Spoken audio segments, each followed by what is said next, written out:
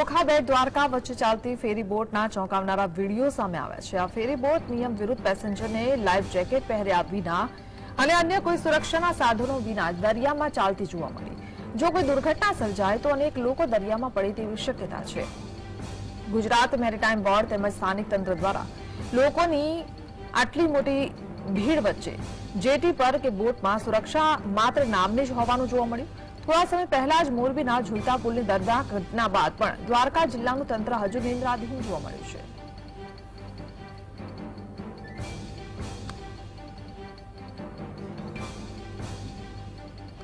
જેની સૌથી મોટી યુનિવર્સિટી ગુજરાત યુનિવર્સિટીમાં બીએસસી નર્સિંગમાં ઉત્તરવહી કૌભાંડ સામે આવ્યું હતું.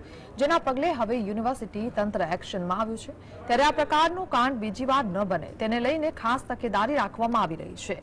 એટલું જ નહીં, આવા કૌભાંડ થતા અટકે તેને લઈને કેટલાક ખાસ પગલાં પણ યુનિવર્સિટી દ્વારા લેવાનું નક્કી કર્યું છે.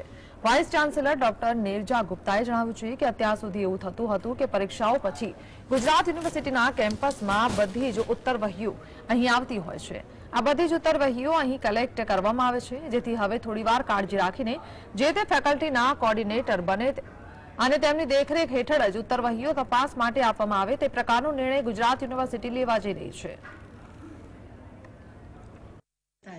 કે એ ઓળખતા હતા માણસોને કે નથી, કોણ અંદર ગયા? આપણે કેમેરા રાખીએ છીએ, પણ કેમેરો એ પ્રમાણે કામ નથી કરતા કે જે કોઈને અટકાવી શકે કે ભાઈ આ તમે અજાણો વ્યક્તિ છો. એના લીધે હવે થોડી કાળજી રાખીને જે તે ફેકલ્ટીના જ કોર્ડિનેટર બને અને એ પછી પૂરી જવાબદારીથી ઉત્તરવૈયોની તપાસ કરાવે એ અમારા આગામી દિવસોમાં. આણંદ વિદ્યાનગર રોડ પરથી બોગસ માર્કશીટ કૌભાંડ ઝડપાયું છે. હજુ ત્રણ દિવસ પહેલા એસઓજીએ માર્કશીટ કૌભાંડ ઝડપી પાડ્યું હતું, જેમાં એસઓજી પોલીસે વીસ માર્કશીટ, એક લેપટોપ, એક મોબાઈલ સહિતનો મુદ્દામાલ જપ્ત કર્યો. આણંદ ટાઉન પોલીસ મથકે ગુનો નોંધી એસઓજી પોલીસે વધુ તપાસ હાથ ધરી છે.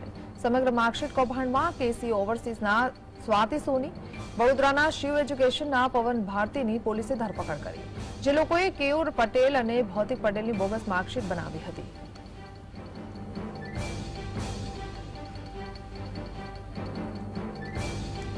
અમદાવાદીઓ માટે વધુ એક મલ્ટીલેવલ પાર્કિંગ શરૂ થતા નાગરિકોને રાહત થશે. શહેરના રિવરફ્રન્ટ ખાતે બનેલ પાર્કિંગ જનતા માટે ખુલ્લું મુકાયું હતું.